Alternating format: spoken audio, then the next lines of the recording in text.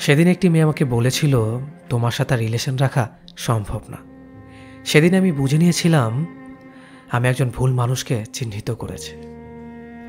যে মানুষটা আমার যোগ্য না। মেয়েটি যখন বলেছিল, আমাকে ছেড়ে চলে যাবে, তখন আমি তার জন্য একটুও কাঁদিনি। বরং চলে যাওয়ার রাস্তাটা প্রশস্ত করে দিয়ে হাসি মুখে তার হাত ধরে দু কদম এগিয়ে দিয়ে আসলো। যাওয়ার সময় মেয়েটাকে কিছুই বলিনি। তবে সেদিন ডায়েরিতে একটা কথা লিখেছিলাম একদিন তুমি আমাকে খুঁজবে, পাগলের মতো আমাকে চাইবে। সেদিন মেয়েটাকে আমি বলিনি, আমাকে ছেড়ে প্লিজ যেও না।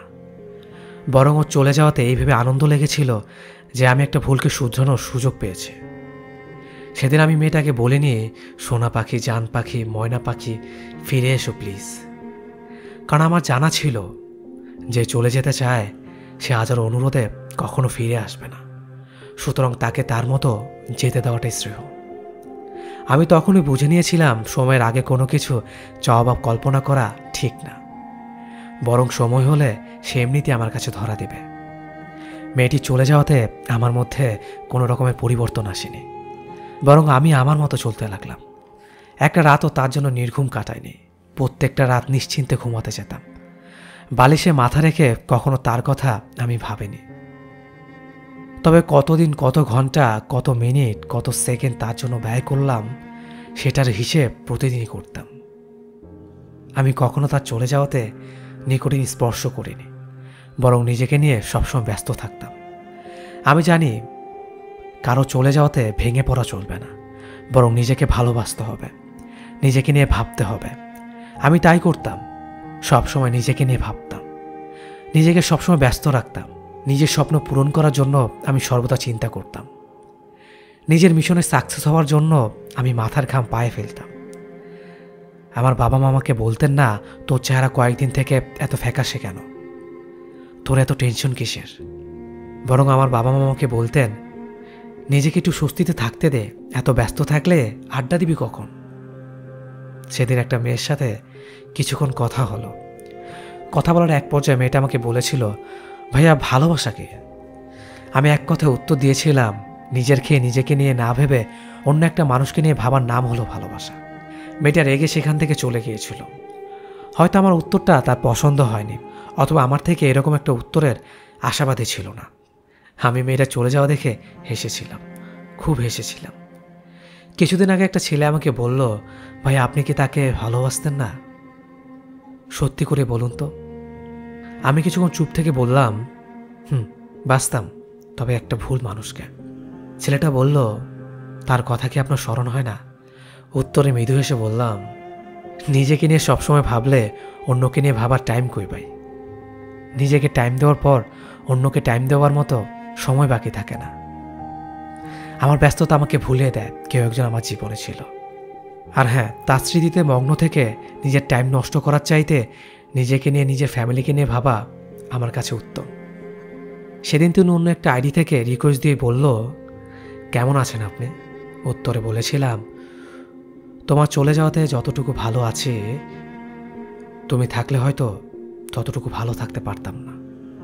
মেয়েটি তখন বলল, আমাকে কি একেবারে ভুলে গেছেন? উত্তরে বলেছিলাম, ঠিক ধরেছ। আগে যতটুকু তোমাকে স্মরণ রাখতাম, তার চেয়ে বেশি ভুলে গেছি। মেয়েটি আর রিপ্লাই দিল না। জীবনের সবচেয়ে গুরুত্বপূর্ণ সিদ্ধান্তগুলো একা একাই নিতে হয়। জীবনের সবচেয়ে কঠিন মুহূর্তগুলোতে কাউকে পাশে পাওয়া যায় না।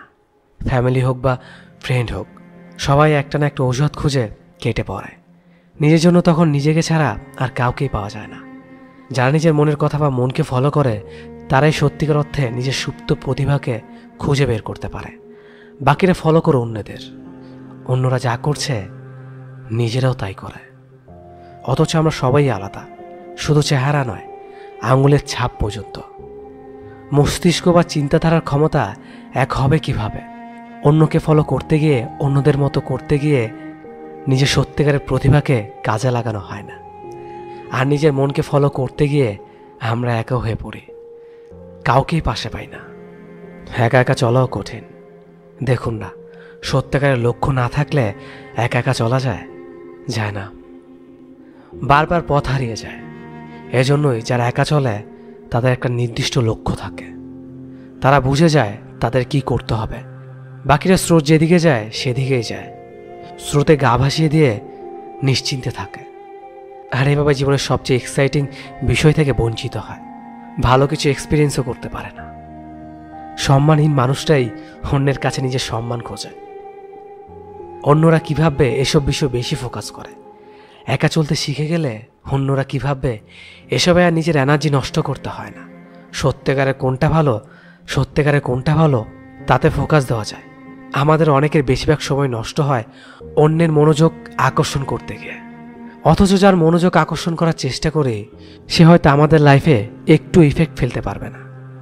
নিজের কোনো কাজে আসবে না। উল্টো নিজের সব কিছু সময় এবং শ্রম নষ্ট হবে। আমাদের মনোযোগ দেওয়া উচিত ওই সব বিষয়ে বা ওইসব মানুষের প্রতি, যাদের সাথে আমাদের জীবন জড়িত। তৃতীয় কোনো ব্যক্তি কী ভাবলো না ভাবলো, তাতে সত্যিকার অর্থে কিছুই যায় আসে না। আর একা চলতে শেখা মানুষগুলো এটা সবার আগেই শিখে যায়। একা চলাও সহজ নয়। তাই বলে রে বেসিক হিউম্যান কার্টেসিগুলো ভুলে যায় না। যা সাহায্য দরকার, তার দিকে সবার আগে হাত বাড়িয়ে দাও। শুধু অপ্রয়োজনীয় জায়গায় নিজের সময় শ্রম ব্যয় করে না। দুর্বলরাই অন্যের সাহায্য গ্রহণ করে এগিয়ে যেতে চায়। যারা একা চলতে পারে, তাদের মনোবল অনেক বেশি।